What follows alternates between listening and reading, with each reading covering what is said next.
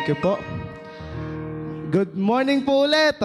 Amen. Tayo po ay magsitayong lahat and yung yeah, settle down na po tayo dun sa mga nakatayo pa po sa likod.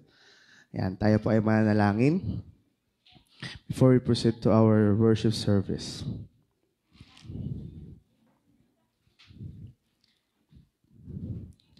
Yan, amen.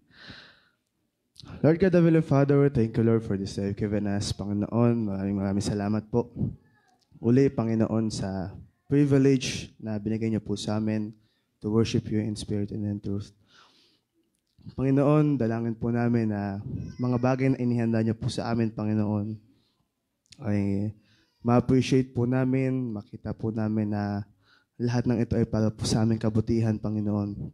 Dalangin po namin na uh,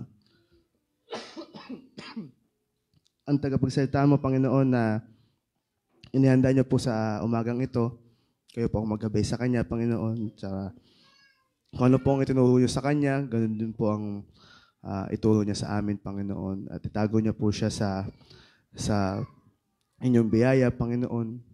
Makita po ang inyong kadakilaan at hindi po ang kanyang galing, Panginoon. Panginoon, um, ngayon po, uh, lalako kami sa worship uh, hour namin, Panginoon. Dalangin po namin na uh, remind niyo po kami, Panginoon, na itong araw na to ay para sa iyo. At uh, hindi po ito patungkol sa amin, Panginoon. Nandito kami upang sambahin ka, Panginoon, uh, uh, to worship you, Panginoon. Dalangin po namin na kayo po ang malulhati sa aming kalagitnaan. Samahan niyo po ang bawat isa. Mangusap ka sa bawat isa, Panginoon. Patawad po sa aming mga nagawang kasalanan at kukulang sa inyo. Gawin niyo po kami marapat sa inyong harapan. Tuwag na lang po salamat sa Panginoong Isus. Amen.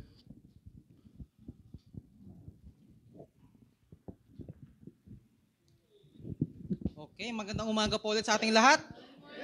Ulitin po na, ulitin po natin. Magandang umaga po sa ating lahat. Ayan, so for our for our uh, medley for this uh, morning, ang ating pong awitin ay tungkol po sa kabutihan, uh, tungkol po sa God's graciousness, goodness, and greatness. Let's start off po sa God is good. Lakasan po natin ang ating boses para po sa papuri sa Panginoon.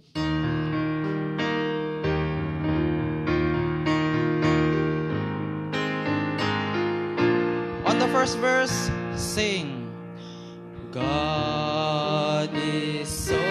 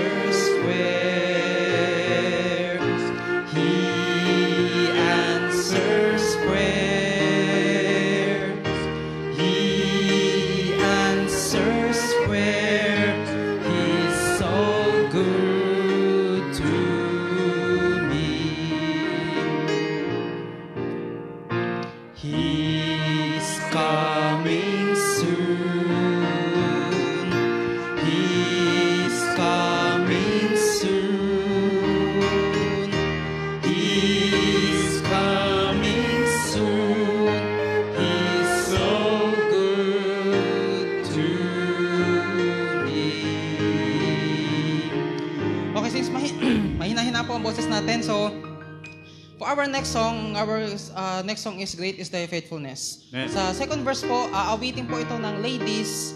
Sa third verse, uh, lahat po ng men. Uh, sa first verse, lahat po muna tayo. Sige po, lakasan po natin ang ating boses. Tayo, tayo po ay umaawit para po sa papuri sa Panginoon. On the first verse, ready, sing. Great is thy faithfulness, O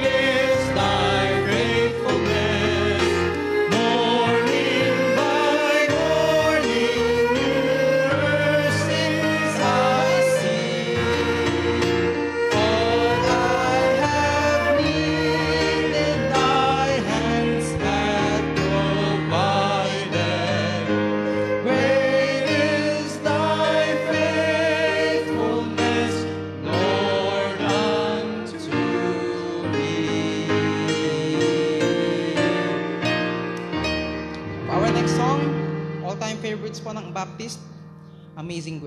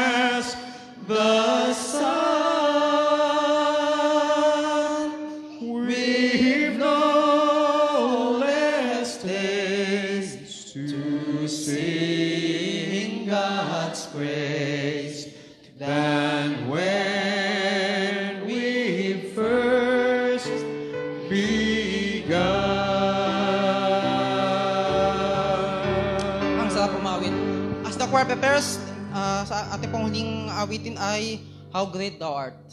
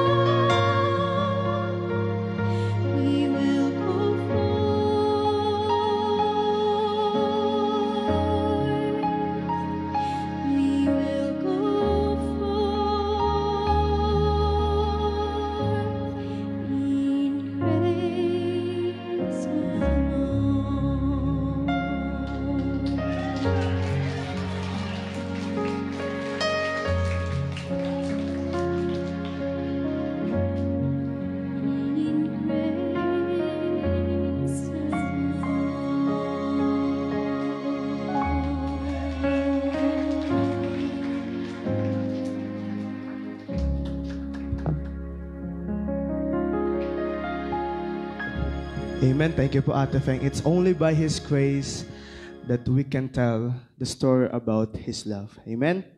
Amen. Tawagin ko na po ang atin pong speaker for this morning worship, Sir Jojo Agostilo.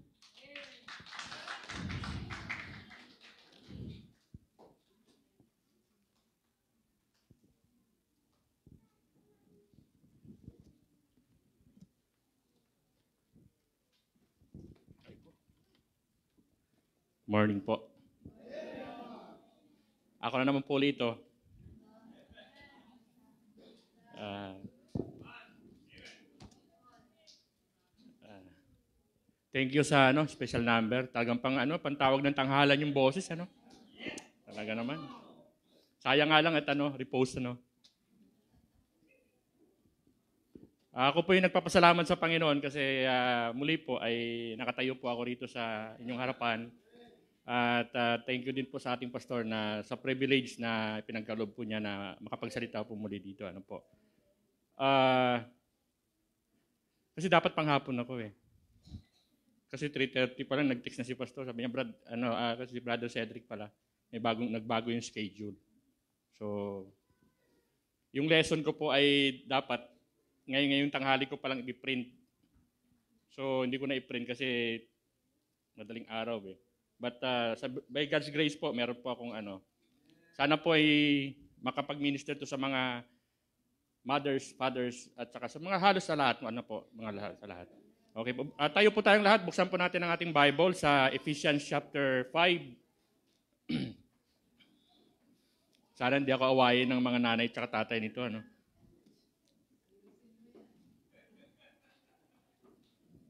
Okay. Ephesians chapter 5 ay uh, basahin po natin na responsibly. Ano po? Uh, verse 20 hanggang uh, 37 ah 33 sorry. So babasahin ko po yung verse 20 uh, next po kayo ang magbabasa. Ano po? Ready na po kayo? Okay, Ephesians chapter uh, 5 verse 20 giving thanks always for all for all things unto God and the Father the same in the name of our Lord Jesus Christ.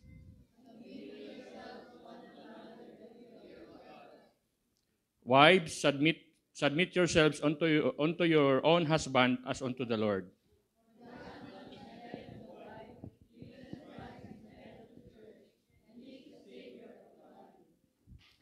Therefore, as the church is subject unto Christ, so let the wives be subject to their own husband and everything.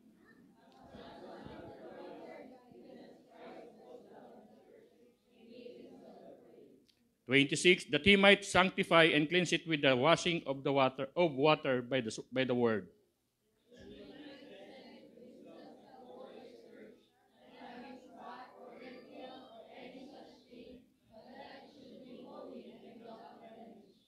Uh, verse 28 So ought men to love their wives as their own body. He that loveth his wife loveth himself.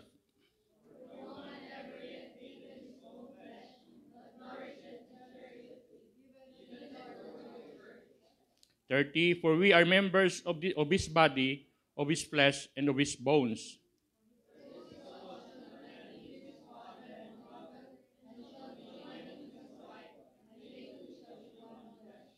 Thirty-two, this is the great mystery, but I speak concerning Christ and the church. Thir- Thirty-three po.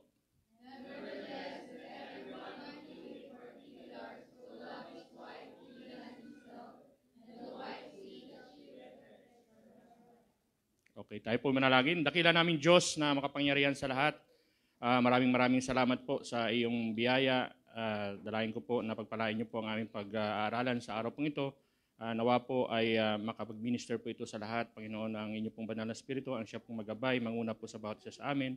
Ah, give us attentive ah, heart and ah, mind, Panginoon, sa pagkikinig po ng iyong salita sa araw po ito. Patuloy niyo pong ah, Pakaingatan din po ang aming pastor as he uh, quarantine himself, Panginoon, for 14 days. Ay uh, dalayan po namin na kayo po ang patuloy na maggabay at mag-ingat po sa kanya. Pagpalain niyo po ang the rest ng uh, programa sa araw pong ito at uh, gabayan niyo po ang batis sa amin. Ito po akilit na langin sa tanging pangalan namang ng Panginoong Isus. Amen. Upo na po tayong lahat. Nandyan pala si, ano, si Sister Adeline tsaka si Nanay Auring. Hello po. Kakarating lang po nila sa ano, from London. Yan. Okay.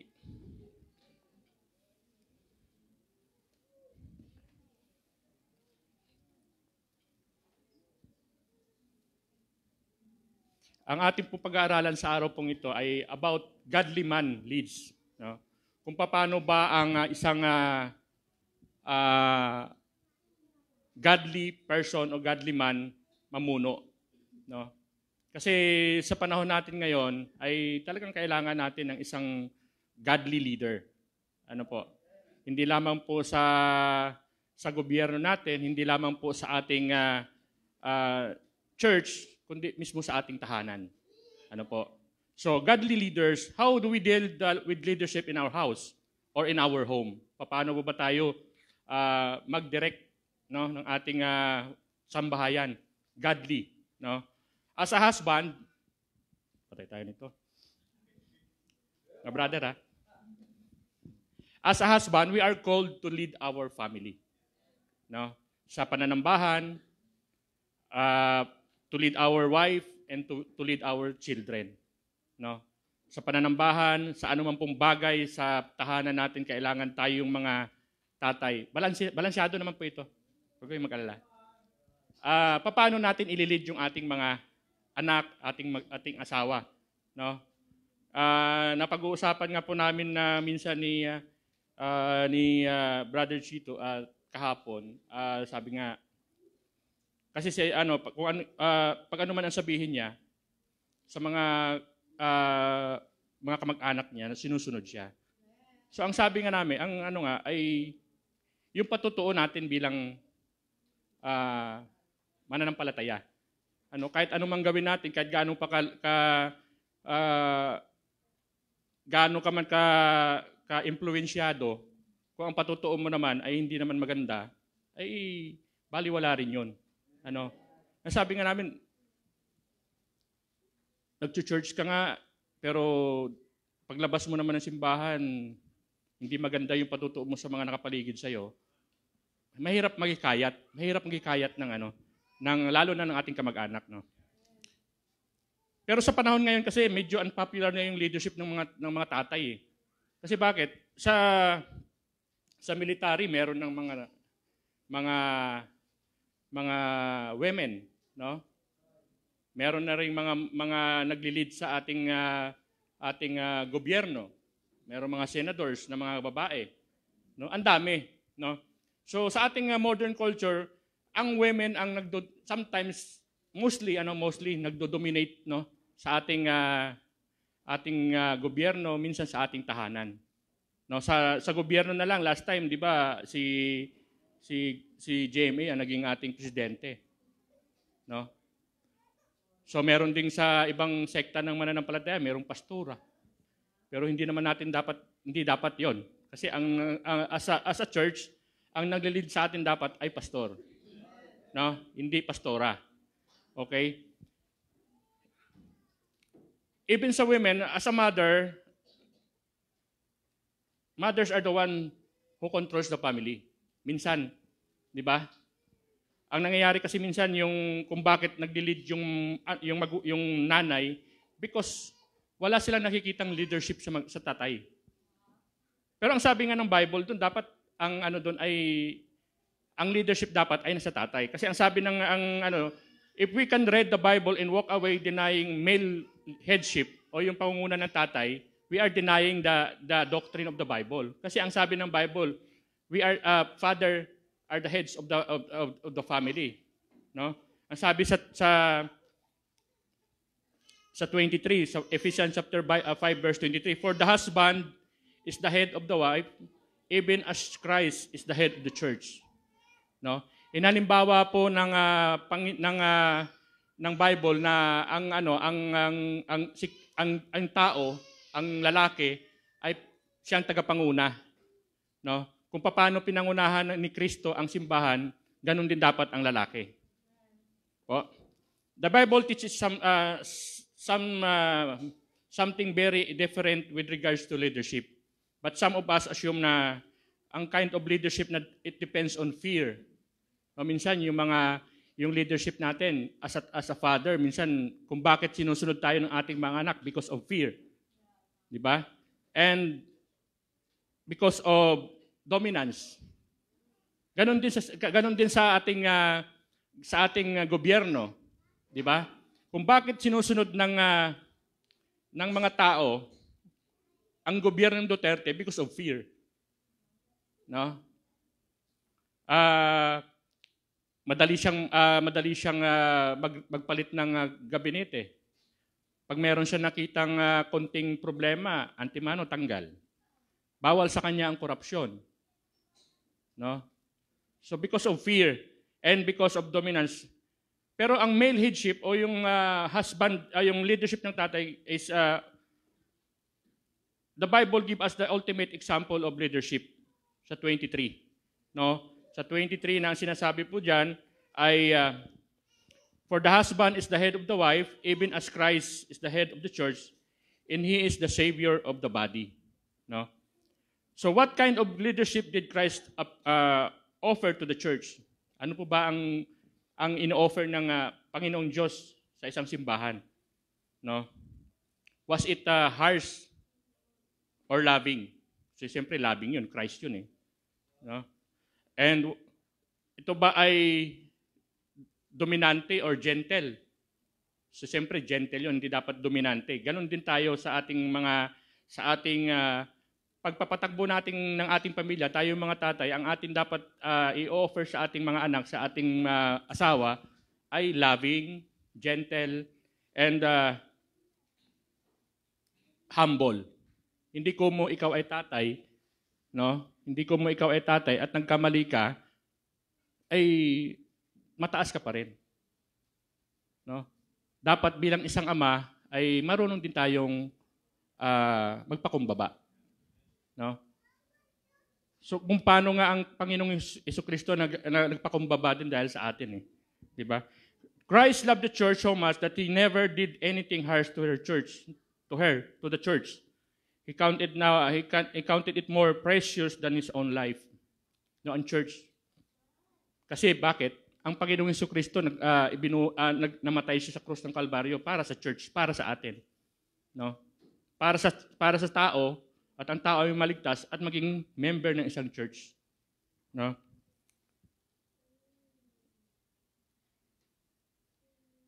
He counted it more precious that, his, that than his own life that he even gave his life so that the church might live. No? Sa 25, ang sabi dito sa verse 25 ay Husband, love your wives even as Christ love you, uh, also love the church and gave himself for it sa ating mga tatay, mahalin natin ang ating asawa. No? Ang sabi nga dito, as Christ loved the church and gave himself for it. No, hindi naman siguro isang kabawasan sa atin bilang mga tatay ay na mahalin ang ating asawa. No? Valentine, Valentine's Day. Araw ng puso nga pero hindi natin sinusunod yung araw ng puso. So may apat po na, na, na dahil kadahilanan kung bakit ang godly man is called to lead. Unang-una po ay leadership, yung pangunguna niya. There are different areas of leaders, of leadership. Unang-una po dyan ay church pastor. So, as a church, meron tayong pastor na dapat nating sundin. No? And then, sa gobyerno, meron tayong mga officials na ni-elect. No? Kung inelect mo yung past, yung uh, government officials na yun, dapat sundin mo. No? bilang isang Kristiyano, ay dapat sinusunod natin yung kautusan na, yung batas na uh, inilalatag ng gobyerno. No? Bakit hindi tayo pwedeng matakot sa batas? Kasi hindi naman tayo gumagawa ng, ng masama eh. Ang natatakot sa batas ay yung gumagawa ng masama. Di ba? So,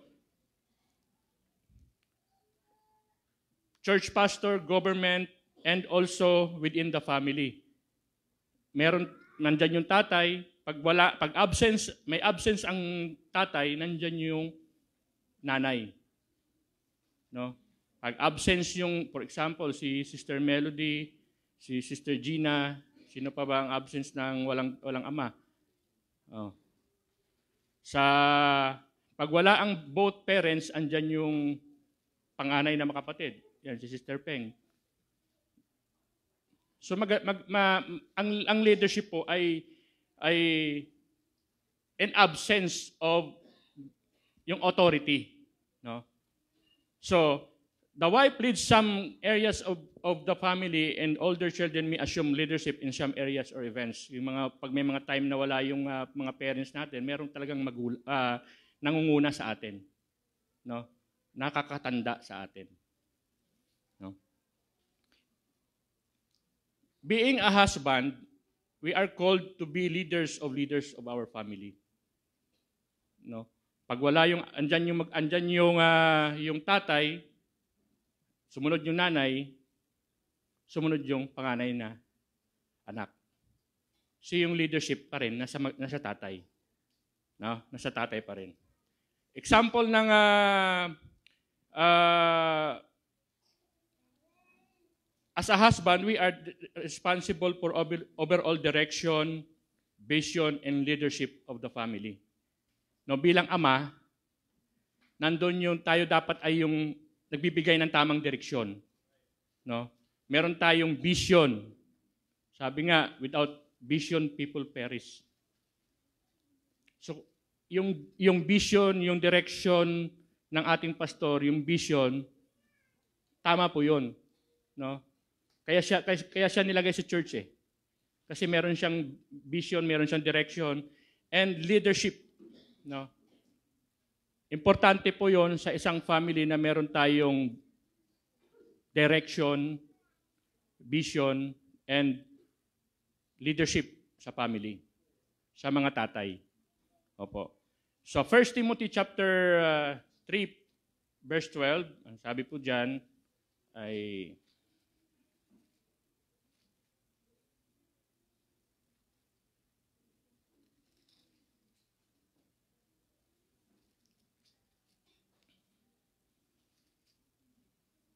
First Timothy chapter 3 verse 12 Let the deacons be the husband of one wife ruling their children in their own houses well. No? So sabi nga he managed well by leading well. No? Kung ang ah, ikaw ay isang isang ama, dapat na ma-manage mo yung family mo ng tama. No? Leadership is more respons- is, is a res- responsibility than it is a privilege. Responsibilidad po ang, ang leadership. Hindi ko mo gusto ko maging leader. Gusto ko maging leader. Pero yung ang sinasabi nga diyan, yung uh, responsibility, responsibility mo as leader. Meron tayong tinalaga na mga uh, tawag nito, bawat leader ng adult, merong lead- leader yung young people, merong leader yung children's department, merong leader ang ah, alin, yung ah, music department, no? Yung ah, young careers merong leader. Nilagay ka diyan because responsibility yan ang pinag-uusapan po diyan. Hindi yan pribilehiyo, no? Na para lang matawag kang isang leader ay nandiyan ka pero wala yung responsibilidad sa iyo. Wala kang responsibility na nakaatang sa iyo.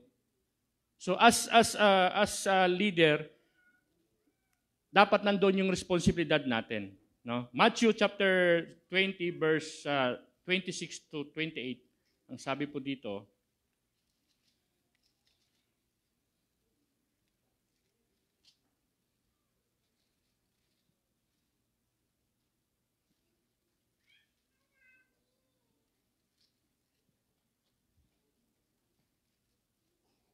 Matthew 20, 26 to 28. Ang sabi dito ay, But it shall be among you, but it shall not be so among you, but whosoever will great among you, let him be your serv- your minister. No?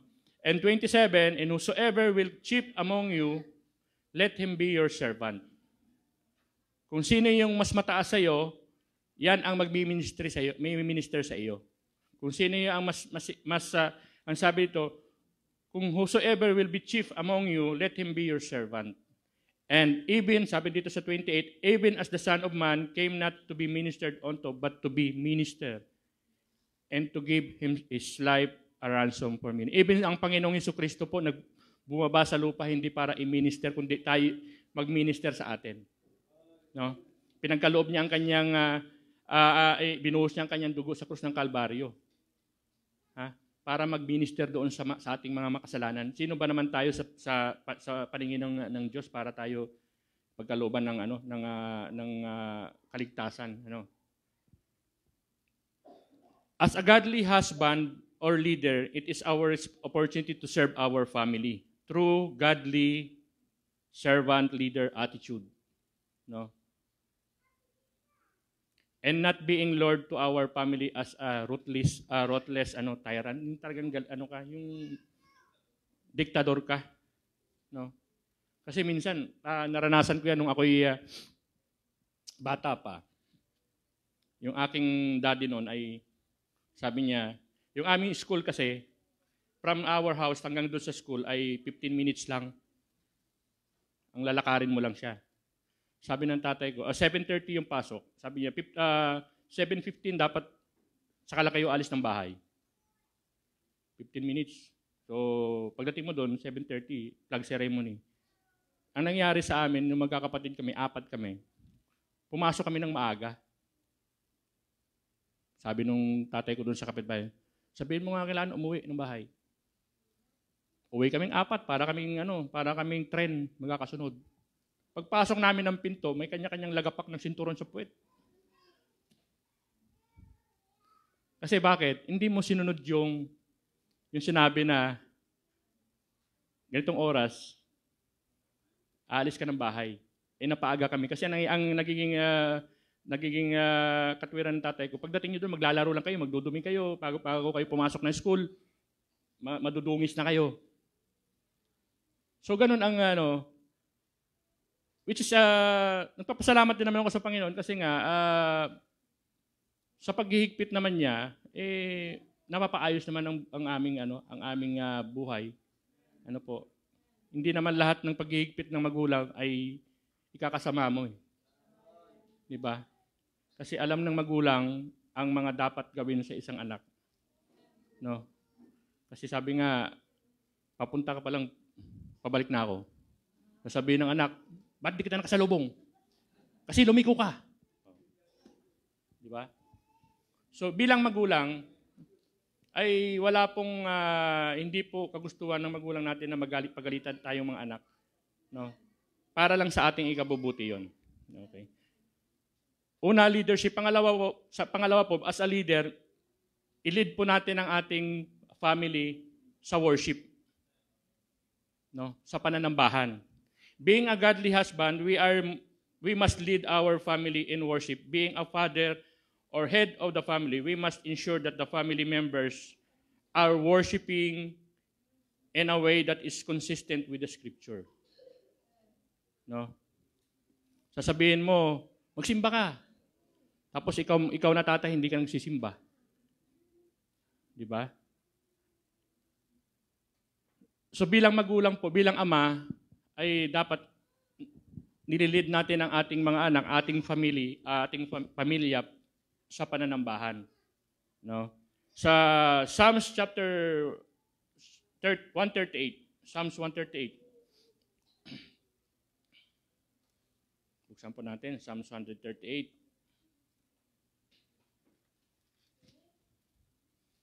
Ang sabi po dito, Psalms 138 verse 2. Sabi dito ni, ni David, sabi niya, I will worship toward thy holy temple and praise thy name for thy loving kindness and for thy truth, for thou hast magnified thy word above all thy name. No, sabi na, I will worship toward the holy temple. Si David, alam naman natin ang his- his- history ni David, no? Nagka-problema siya, pero ni-restore siya ng Panginoon. Sa Psalms chapter 5 verse 7, ang sabi naman po dito,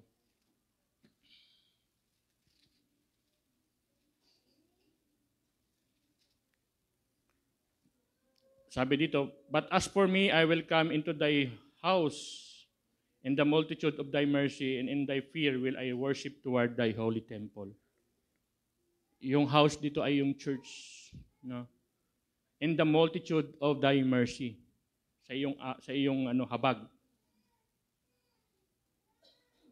Pupunta tayo doon sa habag ng Panginoon. No? We must lead and corporate worship not only in ensuring the family attends church but sabi nga dito but what kind of church no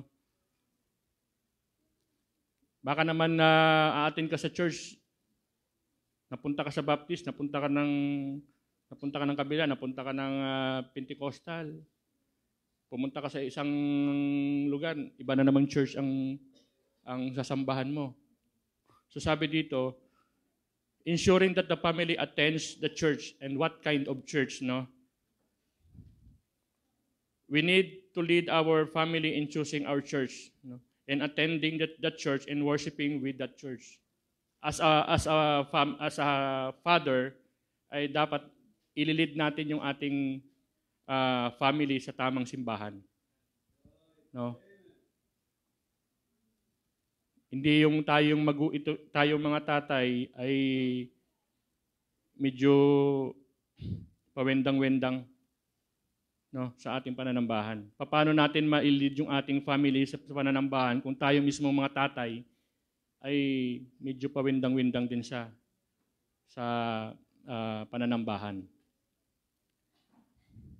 Ganon din po sa ating mga kabataang mga lalaki, especially sa mga kalalakihan. No? mas maganda po na tayo ay nasa simbahan. No? Habang bata pa nga dapat natuturuan natin ating mga anak na mag na mag ano sa church para pumunta sa church, no? Kasi habang bata pa natataniman mo na siya. Paglaki niyan, hahanap-hanapin niya yan. Noong ah, Thursday, pumunta kami kila Sister Gina, binisita namin yung kanyang anak na babae, nagbihis na, nakapangsimba na. Sabi namin, hindi pa tayo mag-church, Sunday pa. Kasi nakita yung L3, nag, naligo, nag, nagsuot ng, ah, ng pang-church niya, naghanap ng sandals, at eh, mag-church na raw. So, sabi ko nga, habang bata pa yung, habang maliliit pa, at ah, nandun yung kanilang, yung apoy sa pananambahan, ay wag natin silang hayaan na, ibaga, nag-apoy na nga, bubuhusan mo pa ng tubig. No? So nakikita, habang nasa, nasa, nasa, ano, nasa init pa ng pananambahan, tuloy, tuloy, kahit hirap na hirap ka, kahit, ah, kahit parang ayaw mo, dahil nga meron kang mga bata na nakatingin sa'yo, sige, tuloy. No? Sa, ati, sa ating mga tatay, kahit na meron tayong, kahit, siyempre galing ka ng trabaho, man dito Saturday, dito trabaho ka, Pagdating ng Sunday, medyo talagang hirap kang gumising. Talagang kailangan mong dalhin yung mga anak mo sa simbahan. No? So, in worship, no? Lead in family, family worship is important in, in our everyday, everyday life, no? As a husband, it's our obligation to spend time or have a family devotion. Sabi nga ng ating pastor, dapat tayong mga tatay, meron tayong family devotion. May family altar tayo. Hindi lang Bible reading, kundi uh, family altar uh, or uh, prayer altar. Meron tayong devotion, family devotion. At hindi lang hindi lang family or corporate devotion, kundi individual devotion natin. Hindi lang hindi lang bakit pag nakita ng ating uh, ating mga anak na tayo ay nagde-devote ng time sa Bible reading, susundin susundin tayo niyon eh. Hindi tayo mahihiyang sabihin sa kanila na magbasa ka, magbasa ka ng Bible. Meditate on on on, on the word of God. Bakit? Pag sinabi mong nak mag, mag ano ka, mag Bible reading ka, bakit ikaw tayo hindi? Baka pagdating sa prayer sa prayer natin, pagdating sa sa kainan, nak, mag-pray ka nga. Parating anak ang tinuturo ano, nak, ikaw na mag-pray. Pag sa, pagdating sa, sa mall, kakain kayo sa fast food, nak, mag-pray ka. Si CR muna ako, pray ka. Naiwas sa prayer. Iba yung training mo, tinitrain mo yung anak mo, iba yung umiiwas at prayer. Ah. Kasi maisipin mo, tinitrain ko lang yung anak ko mag-pray. Pero dapat makita sa atin, mga mga magulang, na tayo ay nagpipray. No? Na ating uh, prayer. No?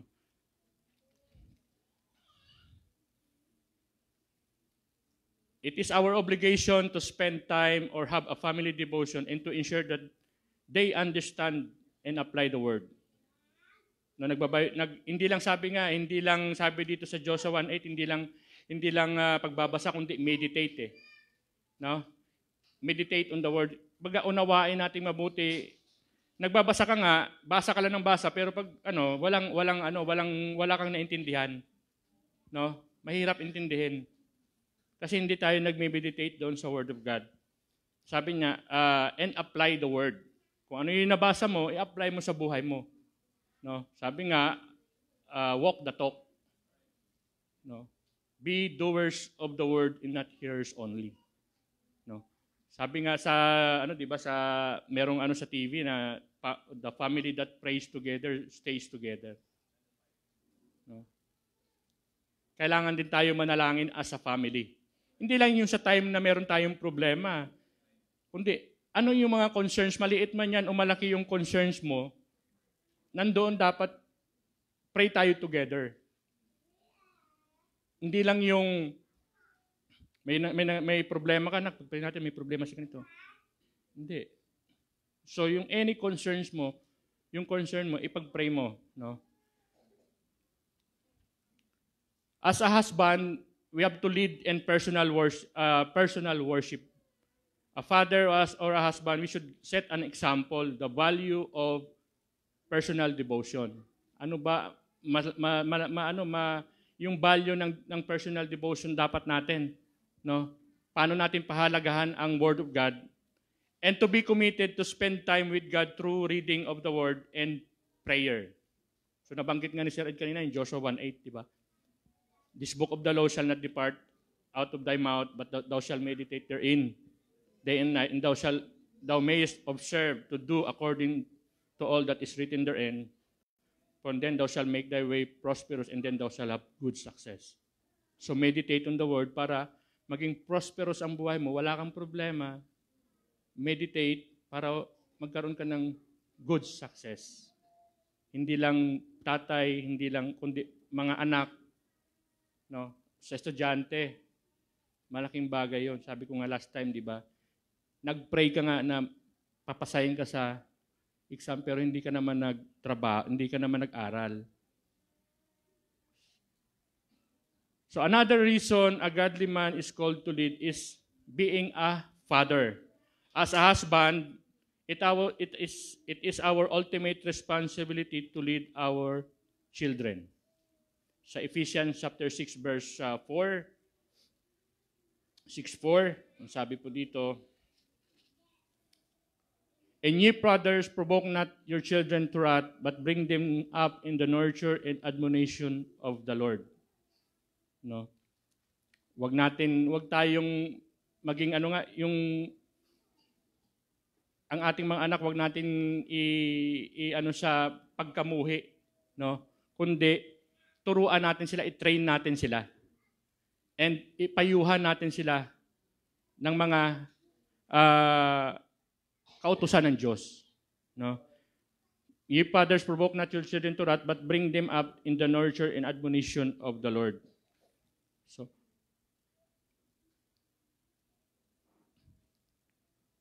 as a husband, it's our ultimate responsibility to lead our children and not the mothers.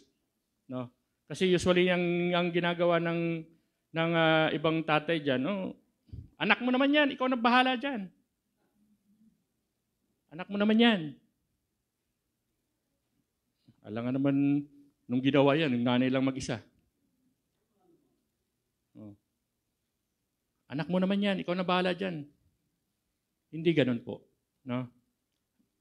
Responsibility ng mad, ng tatay, ang mga anak, pag wala ang tatay, In the absence of the father, ang mothers po ang magti-take over.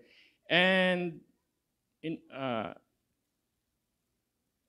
sabi dito, not the mothers in which too many men leave this res- responsibility in raising the kids. But take note, mothers po, ah, mothers, ang ah, ano ko po dyan, hindi po natin gawing excuse yung uh, nakumo ang tatay ang maglilid, hindi na tayo magkikialam. Na? Hindi na tayo magkikialam. Ang ah, ang pagpapadisiplina po ng ating mga anak po ay ah, responsibility ng tatay. At hindi po responsibility ng nanay na sanggain ang disiplina ng tatay. Na?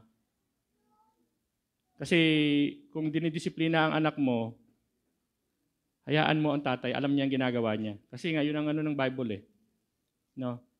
Kung ang may pagkakamali man siya dyan, ay responsibilidad niya rin sa Panginoon yung pag, kung lumaki ng hindi maayos ang kanyang mga anak. Kasi usually, ang nagiging problema po nating mga magulang o mga mag-asawa dahil sa anak. No? Pag ang tatay dinisiplina ng anak, ang anak nakikialam ang nanay. Although, siyempre, bilang magulang, masakit sa nanay yung na minsan pinapalo yung anak mo. Kasi nga, galing sa akin yan. Ako ang nagluwal dyan. No?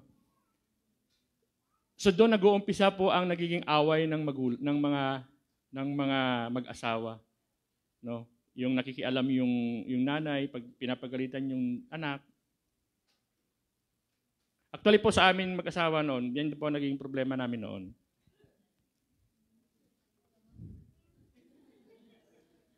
Peace. Kasi po naging problema namin noon, yung aming mga anak, pagka minsan magsusumbong yan. Siyempre ako, noong time niyan, medyo unbeliever pa po ako noon. Ay galing ang trabaho, pagod ka, yung mga anak makukulit.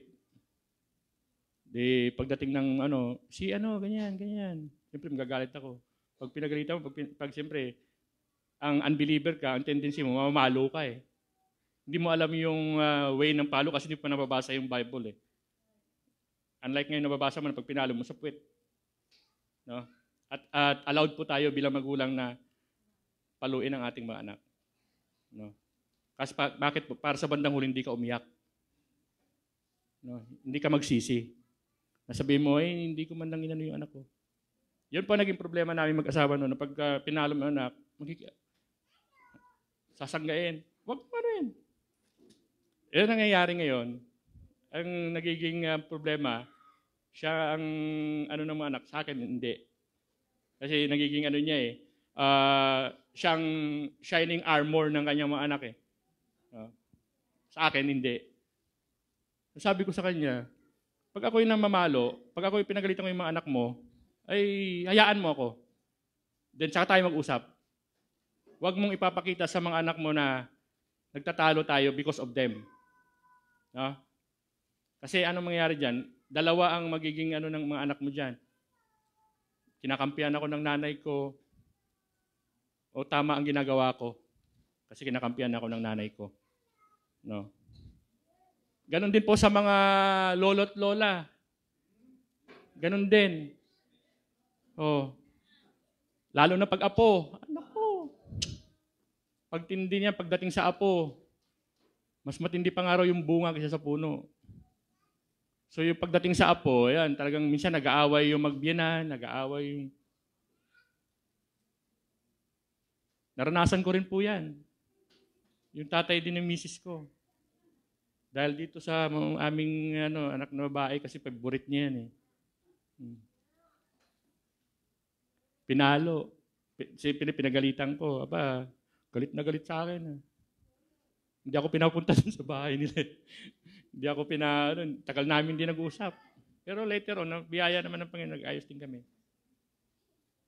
So, yun po, ang ano po dyan ay, bilang ang magulang po ay, mag-lead tayo ng tama o bilang ama tayo mag-lead ng tama no. Uh, live, uh, responsibility responsibility natin na uh, erase ang ating mga anak. At bilang mga nanay din po ay nandun po din, din ang responsibilidad natin na itaguyod din, to- din po ang ating mga anak. Sometimes we can delegate this responsi- responsibility to others. No? Sa nanay, yung, sa, yung, sa teacher.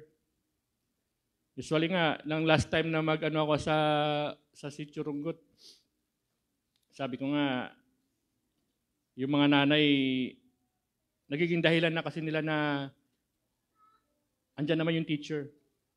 Bahala na ang teacher dyan. Pagdating ng anak sa school, iwanan na. Hindi po hindi po obligasyon ng teacher yung ating mga anak no sa mga pagdating sa mga personal nilang pangangailangan. Kasi merong minsan na papasok ang anak hindi ligo. No? Nandiyan yung nandiyan naman si- nandiyan naman si ma'am. Bahala na si ma'am diyan, no? So sa Sunday school teacher, inaasa natin yung ating mga anak sa Sunday school teacher.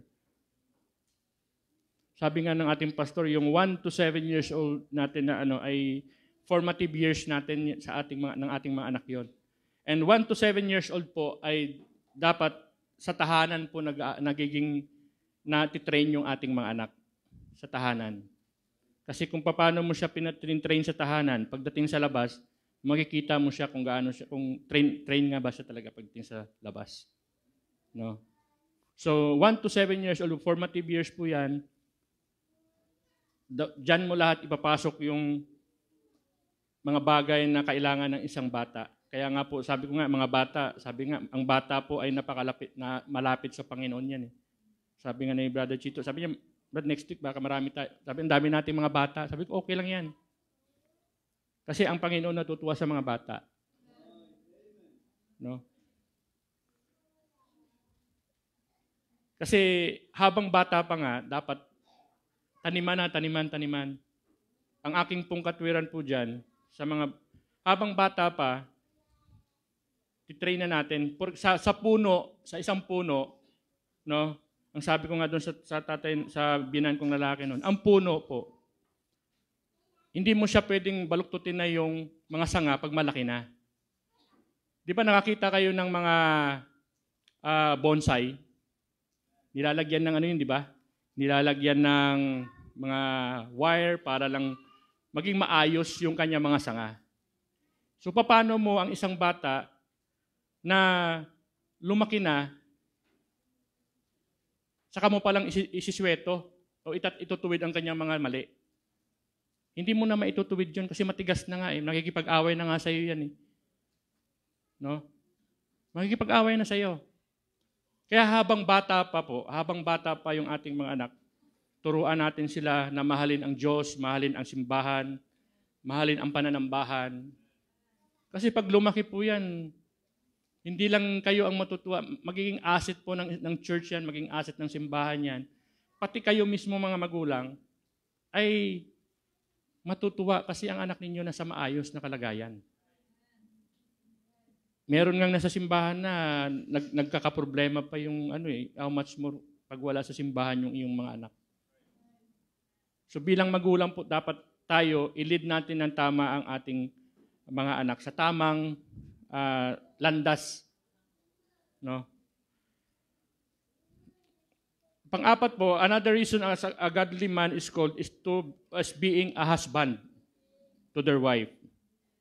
As a head of the family, as a husband, we are responsible for our wife's well-being.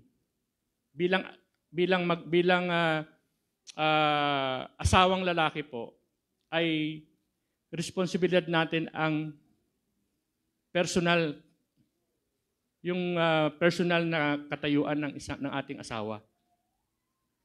No?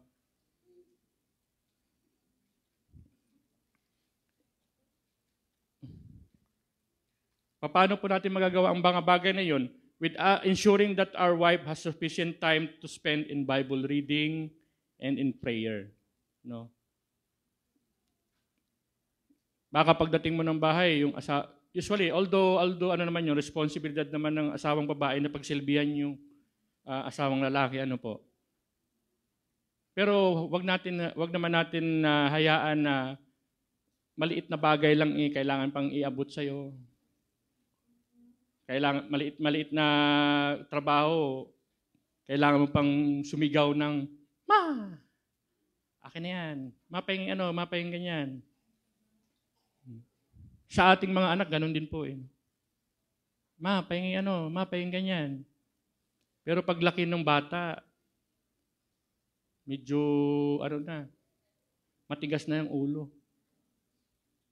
Hindi mo na mautusan. Ikaw na ang utusan. No? So as a head of the family, as a husband, we are responsible for our wife's well-being. It starts with us ensuring that our wife has sufficient time to spend in Bible reading and prayer.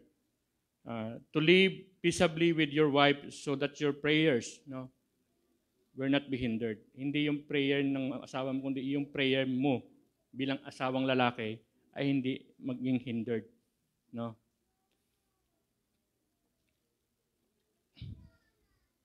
As a leader, we bear the greater responsibility and greater burden in leading our wife. No, bilang bilang ah, bilang ah, head of the family po ay responsibilidad natin no na pangunahan ng ating asawa. Pangunahan na po ang ating asawa. Hindi po ang asawa ang mangunguna sa atin. Sorry po, ah, mothers. Pero yun po ang nakasaad sa Bible. Kahit ma- maganda pa ang trabaho mo, no? Yung asawa mo eh ah, hindi ganun kaganda ang trabaho, pero as, asawa mo pa rin yan. Pinakasalan mo yan eh. No? Sabi ko nga, till death do us part. No? Hindi yung till ano, pag nagutom ka lang, eh, saka mag-aaway na kayo. So as, as, a, as a leader, as a husband, we bear the greater responsibility and greater burden in leading our wife. Sa paano pong aram, pala, paraan? Sa pag-ibig. Sabi dito, husband, love your wives as Christ also loved the church. Sabi niya, lalaki, mahalin mo yung asawa mong babae. Kung paano minahal ni Kristo ang simbahan niya, ganun din dapat ang pagmamahal na ialay natin sa ating asawang babae. May pag-ibig. Never doubted in your mind that you that you love your wife, your children, and you're committed to serve them. Wag po natin alisin, wag, wag, wag tayo magkaroon ng ano ng ah, kaisipan na hindi mo mahal yung asawa mo. No? Kasi pag naalis na yung pagmamahal na yan, wala. So ang dapat na sentro ng inyong pag-ibig, ay inyong pag inyong pagsasama ay si Kristo. No? Si Kristo dapat ang naging sentro ng ating pagsasama. Oh. Sometimes we husband are willing to forsake our own desire and our own comfort and our own rights in order to express our love to them. Naranasan niyo pa no, yung mga nanay, yung mga yung may mga asawa na yung yung ah, yung pagmamahal ng anak ng asawa ninyo sa inyo ay sobra-sobra. Wala daw. Walang ano. Patay tayo dyan. As a husband po, kailangan natin yung ating sariling sariling kapakanan, ano, ano, ang ating ah, sariling ah, comfort, no, as a husband, dapat alisin ano natin, i-forsake natin para lang sa pag-ibig mo sa asawa mo. Kasi nung kayo nung kayo nagliligawan pa lang, di ba? May naalala na naman ako niyan eh. Kasi nangyari sa akin yan. ano kami, kami mag-asawa pumunta ng Manila. ah, sa may, sa may ano, ah, Buendia. Patawid kami. Akala ko akay-akay ko na. Ano ka na? Pagtawid ko sa kabilang side, nandun pa siya naiwan sa kabila. Sabi ko, halik na. Eh, ang daming sasakyan na patawid-tawid ganyan. Sabi nung sa kanya ng matanda, Neng, iba na talaga ngayon pag asawa na, eh. iniiwanan na yung asawa sa kabila. Samantalang nung kayo'y mag, mag-boyfriend, mag-girlfriend pa, nasa danger zone ka parati, lalaki, nasa danger zone. Alam niyo ba yung danger zone? Oh. Bit-bit mo pa yung mga gamit. Hmm. Pag bumababa ng jeep yan, ah, gaganyanin mo pa ngayon. Bahala ka dyan, matisod ka dyan, mahulog ka. So, ganun na nangyayari, ano. So na yung uh, ating uh, ating uh, pag mag-asawa na, nawawa, medyo nawawala na yung pag, yung unti-unting ah bahala na. Yung ating sariling kapakanan no ating mag, ng, mag, ng, ng ating asawa no dapat nandoon pa rin yung yung ating uh, uh, ano sa kanya yung desire na na mapabuti siya no Our love must be marked with that kind of love that Christ loved for His church. Kung paano nga inibig ng, ng Panginoong Iso Kristo ang simbahan, ganun din dapat tayo bilang bilang asawa sa ating asawang babae. Sa mga tatay po 'yun ha. And kasama rin po yung mga mga mga uh, kalalakihan natin ngayon, ng mga ano kasi siyempre darating at darating ang panahon na mag-aasawa kayo. At siyempre sa mga kababaihan naman, Darating at darating sa punto na mag-aasawa kayo. At ang hahanapin po ninyo, yung godly. Hindi yung pogi. Anin mo naman yung pogi kung dadaling ka naman sa sa ano, sa walang sa kawalan. Sabi nga nila, pag pogi naman masisave. Pag pangit daw hindi naman hindi na magagawa ng paraan eh. So pag pogi, masisave pa naman daw. So may may ano pa, may may puntos pa rin ano. Gusto ko ng pogi. Gusto ko ng pogi. Kasi masisave naman siya eh. Pag pangit, save nga pangit, medyo hindi mo na magagawa ng paraan na ano eh. Kasi, hmm.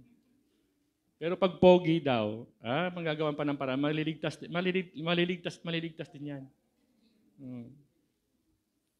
So, ang ating, uh, i-lead natin ang ating wife sa uh, pagmamahal. No? Our love must be marked with the kind of love that Christ loved for His church. No? Pangalawa po, ang, ang uh, ililid natin ng ating asawa with gentleness. No? Nung mahinahon. Lead them with meekness and gentleness. Be aware of your actions and behavior. Sa mga tatay po, usually talagang sensitive yung ating mga asawa eh. Yung ating yung mga kababaihan, sensitibo po yan mga yan. Pag hindi, si Mrs. noon, pag hindi kumibo yan, alam mo na may problema yan. Pag kinulit ko yan, hindi yan mag... Na, na, natutunan ko na kasi na pag tahimik yan, hindi ko na siya kukulitin.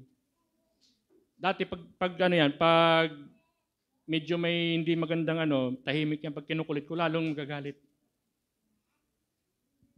So, maging sensitibo po tayo mga ano sa action natin at sa ating mga behavior.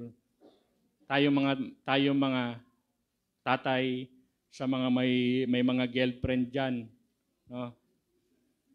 So maging sensitibo po kayo sa, sa inyong mga girlfriend. Sa mga pangailangan nila nung ating asawa. Hindi nung pangailangan ng girlfriend mo. So be aware of your wife's struggle and weaknesses. So bilang uh, leader po, mag aware po tayo sa at sa struggle ng ating uh, mga asawa at sa kanilang mga kahinaan. Kasi hindi mo alam, meron pala siyang mga problema na, na dinadala. Ikaw naman, okay ka lang, okay lang. Chill ka lang, kumbaga chill ka lang.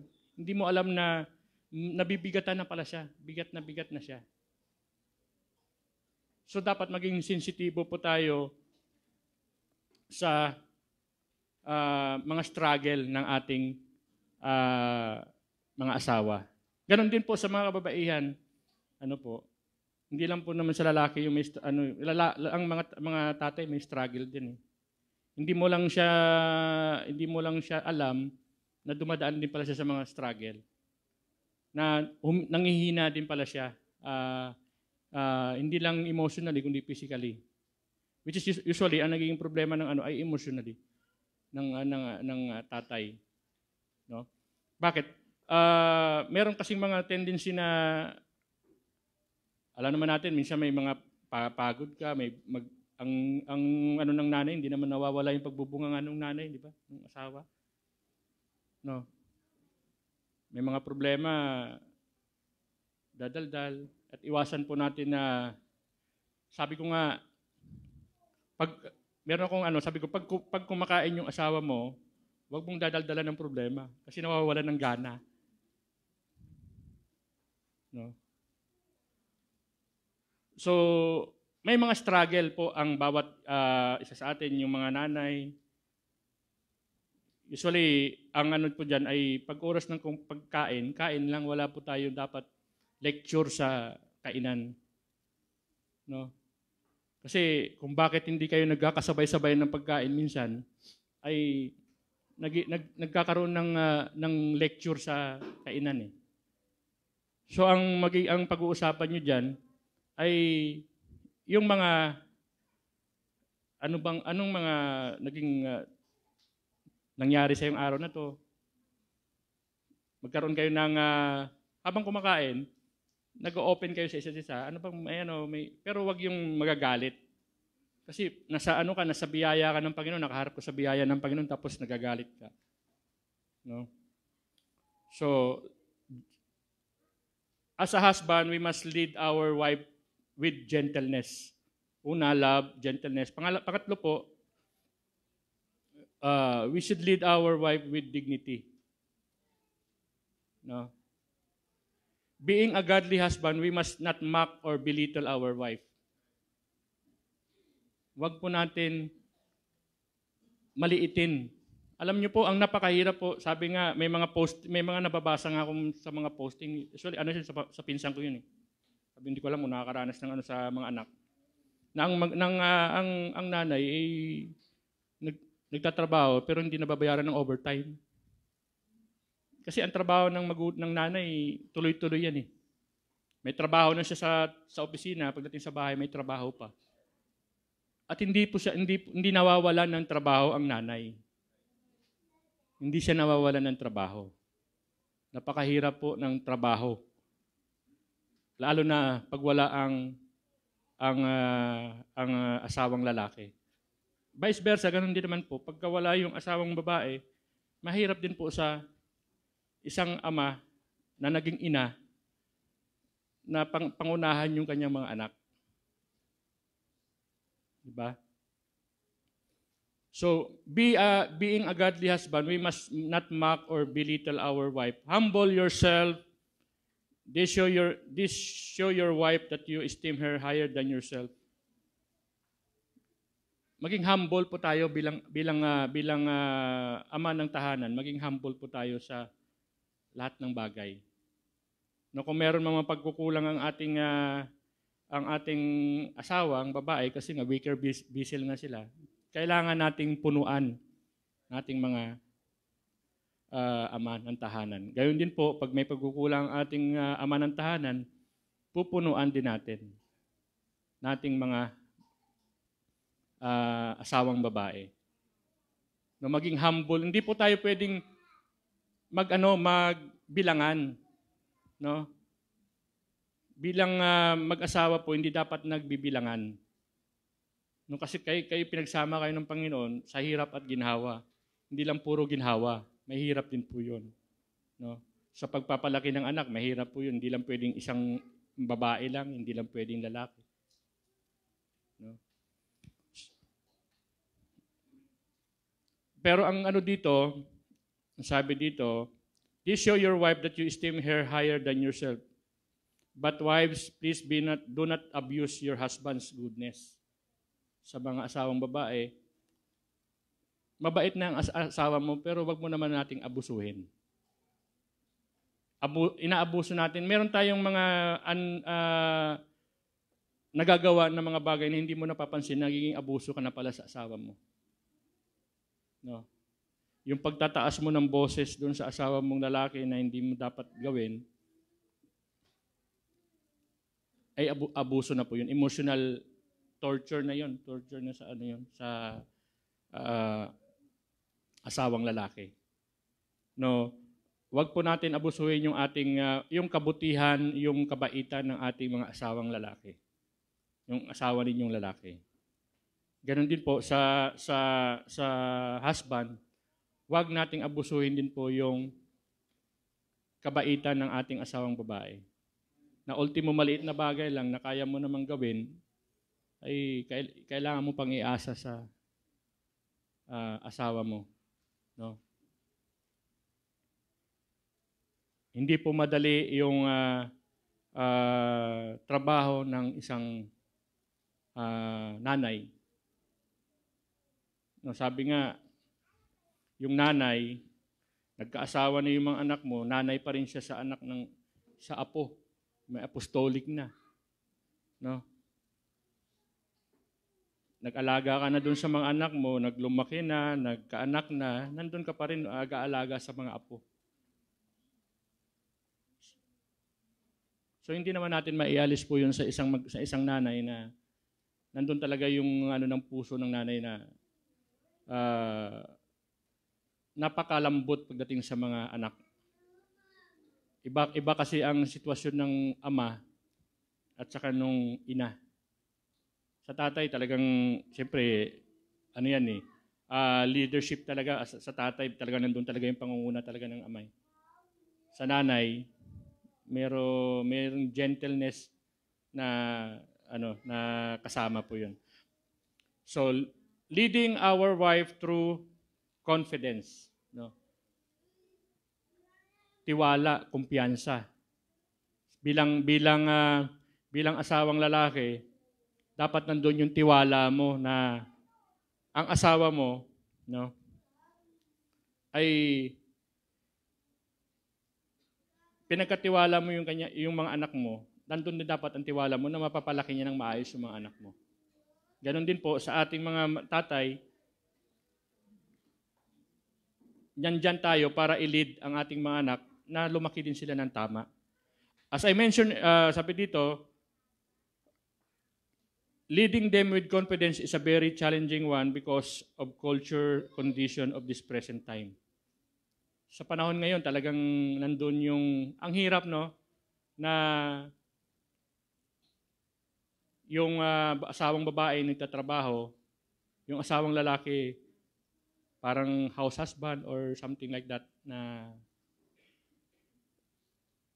kumbaga hindi siya hindi niya kayang abutin yung yung pinag, yung kita ng isang nung kanyang asawa. Nagkakaroon nagkakaroon siya ng kumbaga nan, nanliliit no. Nanliliit siya. Pero dapat doon ang confident natin sa at uh, uh, sabi dito,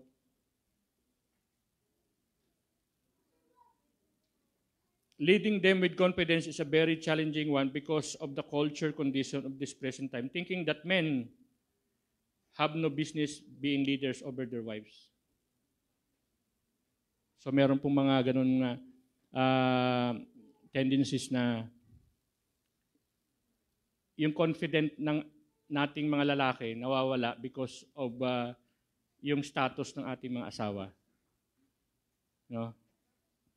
Kung bakit uh, sino ba yung Meron kasing mga nasa higher position na usually pag napapansin po ninyo, yung mga nasa higher positions na mga mga uh, babae nasa working position na sa higher position, minsan tumatanda kung napapansin niyo, naging matandang dalaga. Bakit? Nagkakaroon ng nahi, na ano, yung hindi sila nakakahanap ng kapartner nila, naka-level nila. Eh. No? Kasi bakit? Pagka nagkaroon, nagbumaba yung level ng, uh, ng tao mga kasama nila, may tendencies na i-ano sila ng family, ng family nila. So sa atin, uh, sa, sa, sa husband, andun dapat yung confident natin bilang ama na any decision na gagawin mo sa family mo ay may confident ka na magpa-prosper yun. No? Hindi mo pwedeng s- hindi pwedeng sabihin ng asawa mong babae na mali yung naging desisyon mo. No? Hindi po natin pwedeng ah, ako ano ah, tuksuhin o ano yun yung ating asawang lalaki na mali ang naging desisyon mo sa buhay. Mali ang naging desisyon mo. So dapat, bilang asawang babae, nandun yung suporta natin sa ating asawang lalaki. Mag, gumawa man siya ng desisyon na making any, any difficult decision na gagawin niya, nagresulta ng unpopular uh, uh, unpopular results man yan, o hindi man magandang resulta yung naging desisyon naging uh, ng asawa mong lalaki, dapat nandun pa rin tayo, nandun pa rin yung asawang babae na nakasuporta. Hindi siya dapat hindi niya dapat kutsain yung asawa niyang babae, ah, lalaki. Same din po sa ating sa mga tatay na may mga decisions making kasi yung mag, yung ating mga asawa na minsan hindi, hindi ano hindi tama. So wag po natin wag po natin kukutsain o pipintasan yung mga decisions na gagawin niya, na ginawa niya. So, we have kailangan nat kailangan magkaroon ng confidence yung bawat isa sa atin sa decision sa confidence sa asawa mo and confident sa asawang babae at sa asawang lalaki. Ano po? Being a leader po, we, we must stand firm on what the scripture says. Ano bang sinasabi ng scripture sa sa ano sa ang sabi doon, wives submit to your husband and husband love your wife. Ano mang mga bagay na gawin mo bilang babae, dapat magpasakop ka sa asawa mong asawa mong lalaki. No? May trabaho man yan, wala man trabaho yan, magpasakop ka kasi asawa mo nga yan. At yun ang nakasaad sa Bible, na magpasakop bil- bilang asawang babae, magpasakop po tayo sa ating mga asawang lalaki. And as a husband din po, kailangan din po natin mahalin yung ating mga asawang babae. Sabi nga, if you don't do not lead your family, someone will and will have to. Kahit pag hindi mo pinangunahan yung ano mo, yung yung ah, family mo, meron talagang tatayo na mangunguna. No. Sa mga sa mga pe, ah, single mothers ah, sabi nga ni Brother Ed kanina, pag may problema ka, hindi ka dapat lalapit doon sa kasing idarin mo. Sa single sa, sa mga mothers na wala yung kanilang mga ama, andyan si andyan si pastor. No? Na siyang magli-lead sa family mo. May pag-pray ka, may pag, lead yung family mo sa tama. No? Mag- magawan ng desisyon ng tama. No? Andyan si pastor. Hindi ka pwedeng lumapit kahit kanino, lalo na pag unbeliever yung lalapitan mo. Pag wala yung asawa, pag wala yung asawa mo, huwag kang lalapit doon hingi ng advice sa unbeliever. No? Hingi ka ng advice sa elder ng church, unang-una sa pastor, sa deacon, no? o sa mas matanda ang pananampalataya kaysa sa iyo. Huwag kang humingi ng advice ng kasing idarin mo sa pananampalataya. Kasi bakit? Baka saan ka lang dalhin yan eh. In-advise, nag-adbigay ka ng, bigay ka ng advice sa kanya, hindi naging, hindi, hindi naging maganda yung naging advice mo sa kanya, imbis na mapag, mapabuti siya, napasama pa lalo. So kailangan natin nagkaroon tayo sa sa church, meron tayong spiritual leaders. Si pastor unang-una, mga deacons, meron tayo.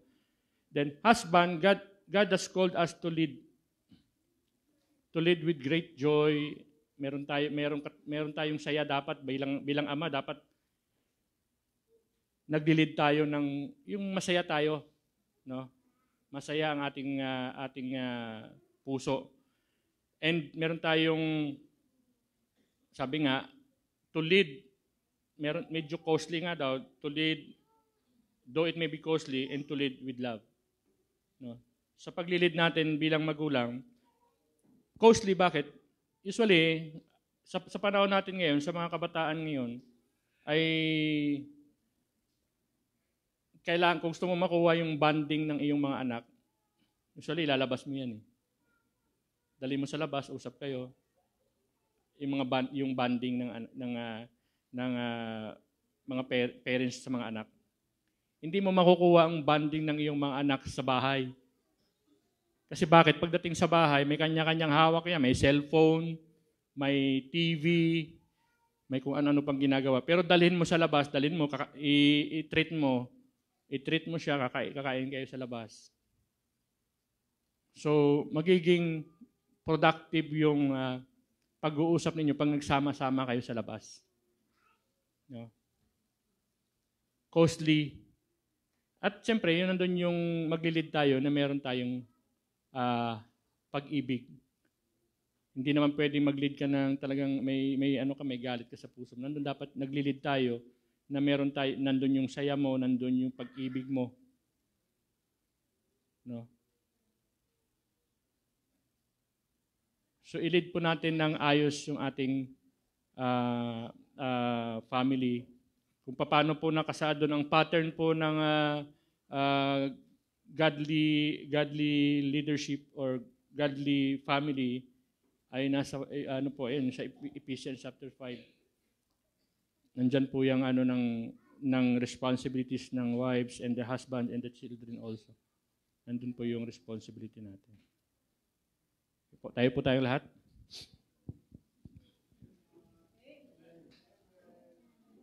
Tayo manalangin. Dakila naming Diyos na makapangyarihan sa lahat. Panginoon, maraming maraming salamat po sa iyo pong salita na aming ah, napakinggan. Ah, salamat din po sa wisdom na ipinagkaloob niyo po sa akin, Panginoon. Dalayan ko po, Ama, na ang lesson po namin na pag-aralan ay ah, ah, magamit po namin, Panginoon, sa aming pong pang-araw-araw na buhay, especially po sa aming mga tatay, sa mga ah, nanay, at gayon din po sa aming mga anak, Panginoon. Talangin ko po na kayo po ang patuloy na ah, maggabay at mangguna po sa amin, Panginoon. Proteksyonan niyo po kami. Palain niyo po ang ah, aming maghapon, Panginoon. At uh, uh, we're praying also sa patuloy sa aming pastor na kayo din po ang patuloy na mag gabay sa kanya, giving mga comfort, Panginoon, na ah, sa pagstay po niya sa, taha, sa, sa tahanan and uh, let him be a productive, Panginoon. At dalayan ko rin po, Ama, na ah, pagpalain niyo po ang ah, pagbibigay sa araw pong ito, kayo din po magpala po sa mga ah, ipagkakaloob. Gamitin niyo pong instrumento sa paglago ng gawain po ng ah, Metro Laguna Baptist Church dito sa Kalamba, Panginoon. At gabayan niyo po ang bawat isa sa amin. Patawad po, Panginoon Diyos, sa lahat namin nagawang pagkukulang at pagkasala. Ito po akilit na langin sa tanging pangalan lamang namin, Panginoon Jesus. Amen.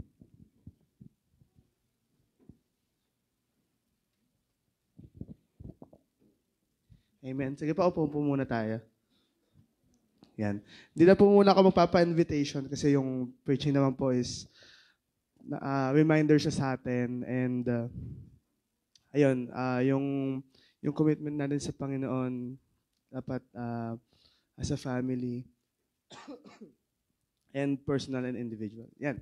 And uh, ano oras na po? Yes. After po ng offertory, we'll proceed to prayer and we'll cut the live stream. Then, hindi po muna tayo magdi-dismiss. Magkakaroon po tayo ng short meeting. Ano po? Then, may mga pag-uusapan lang po tayo. Ano po? Yan. And um, let's proceed po sa ating offertory service. Let's sing um, The Church Must Stand. Isang song na lang po tayo this uh, offertory service. Tayo po tayong lahat.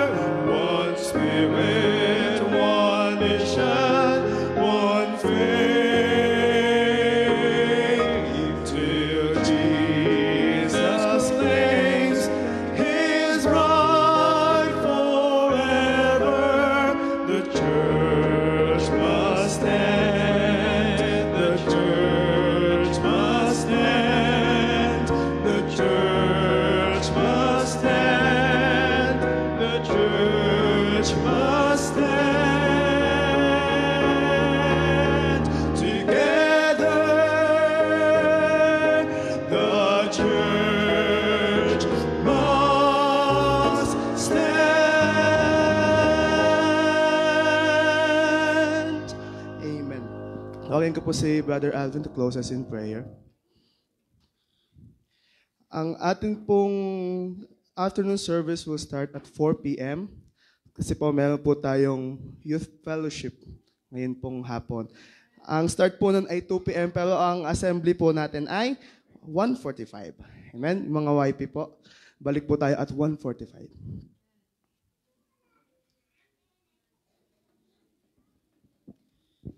Tayo po'y manalangin. Amang dakilang Diyos na makapanginoon po sa lahat. Salamat po Panginoon sa oras na ito. Salamat po Panginoon sa natapos pa ng pananambahan. Salamat po Panginoon ah, bilang YP Panginoon ay nakita po namin Panginoon ang magiging re- ah, magiging ah, responsibilities po namin balang araw. Salamat po Panginoon sa inyong ginamit na mensahero. Ikaw Panginoon na magpala po sa amin pong ah, pagmimitingan, sa amin pong ah, ah, sa amin pong lunch fellowship mamaya. Ikaw Panginoon ang patuloy din pong Ah, mag- iba- ibalik niyo po kami mamayang hapon, Panginoon, upang ma- makapakinig po kami ng inyong salita. At naway, Panginoon, ah, pagpalaan niyo po ang magiging youth fellowship. At naway, Panginoon, ah, mag-enjoy po ang lahat. At ibalik niyo po kami, Panginoon, mamayang 4 p.m. At naway, Panginoon, ikaw po ang patuloy na ah, gumabay sa amin, Panginoon. Wala pong amin, wala pong amin, Pastor, Panginoon, pero nandito po kayo. Patawad po sa aming mga pagkakasala po kulang sa inyo. Gawin niyo po malapit sa inyong harapan. Ito pa madalangin pasasalamat sa pangalan ni. Amen.